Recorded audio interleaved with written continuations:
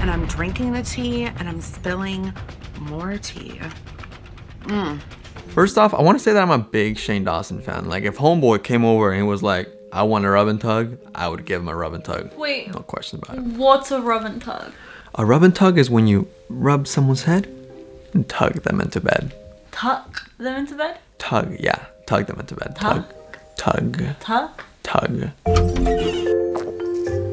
I was watching Shane's 80 part documentary series on Jake Paul, and I noticed that towards the end of part two, he said he was feeling depressed. I like stay up all night and I'm just lost. Why am I so lost? If I can help all these people, why can't I help myself? Why am I still depressed? And I was like, oh my god, that'd actually be a really interesting documentary. Like, what does someone like Shane Dawson go through when he thinks of all these documentaries to make? Like, surely he's going through stuff himself. And then he said this. I look at my channel and I'm like, oh, the more I'm helping people, the worse I'm getting. I want to make the documentary. I want to be behind the camera asking those tough questions.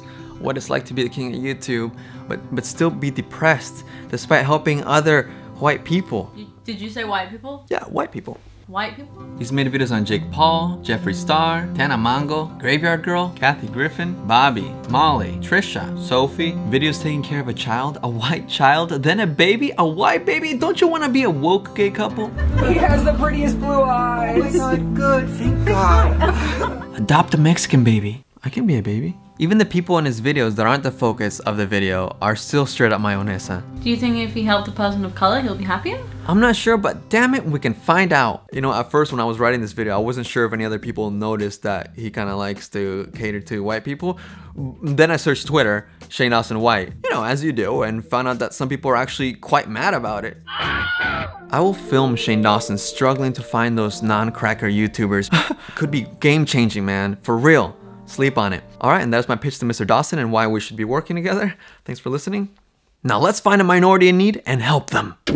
Oh, come on, the guy bought one of his haters a car. It was worth a shot. that looks like two fucking straight up sociopaths planning their next move. Oh, the caption. Let's go.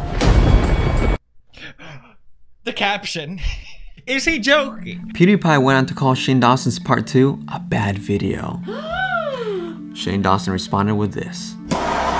oh Shane.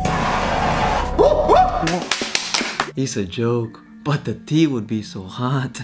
Shane Dawson contra PewDiePie? Hello, anyone else? People criticize Shane Dawson for milking this series, but milking is kind of his thing. Le gusta la leche. Yeah, 8 videos seems a little extra for the series, but what about Graveyard Girl series? That was 7 parts. People just didn't complain because for her, she wasn't introduced until the last 3 parts of the whole series because people didn't even know it was gonna be about her. So one of my favorite YouTubers I've been watching for years lives near the Houston area. And her name is Graveyard Girl. So I think that's where the real criticism lies in the thumbnails and the titles. You know, I, I think that Shane Dawson took a big risk by using Jake Paul's name throughout the entire thing, just writing it out, you know, even though he wanted to learn about sociopaths, which leads me to believe that like it has something to do with him getting screwed over in his past. Like he, he started off curious and then wanted to like find an example on YouTube, you know? I think that's kind of what drove him because he seems to have like a very personal connection with his entire topic. His typical style is like that weird over the top dramatic stuff, you know? And people are judging him for that, but all his videos have been like that. He just happened to tackle a really big fish this time. And he's hugging it tight. I'm sorry if if anybody was offended. Not that Shane needs my seal of approval, but he's a great dude. I met him a few times and I'm an empath and you know, us empaths, we can just feel it.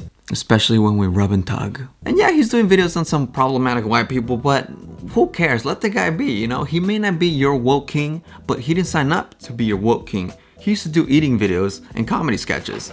Ah! I was into the comedy sketches growing up. The eating videos kind of lost me, so this is a good change for me. These documentaries are like really entertaining stuff for YouTube. It's kind of cool doing a commentary video on a YouTuber actually like. Uh, and I want to emphasize that Shane doesn't have to do any videos on any brown people or whatever. You know, I just thought it'd be a cool suggestion to put him in, little, in his little box. You know, have you guys been keeping up? What are your thoughts on the series? I thought that part one was, you know, a great intro to who Jake Paul is, and then part two was part two. Part three was kind of like part one again, but exposing more of how weird the dad is. And then part four, mm, that's where the tea starts coming in. And I think that it's only gonna get better from here, boys. I think that it only gonna get better from here. Is anybody having viewing parties for Shane Dawson's videos? Cause dang it, you know, I'm gonna have some with my Patreon supporters. We're gonna watch it all together. Cause I, I actually love this. I love the re- whole reality TV weird aspect he adds to it, you know? Cause I grew up on that stuff. Flavor of Love, Rock of Love, Shot of Tequila. so I love his style. I, I love that he took on that reality TV style and put it into YouTube, man. I'm all about it. Shane Dawson, feed it to Papi. Alright guys, if you enjoyed the video, give me a thumbs up and we'll see you next week. Cheers. Rub someone's head and tug them into bed. Tuck them into bed? Tug, yeah, tug them into bed. Tuck? Tug, tug, tug.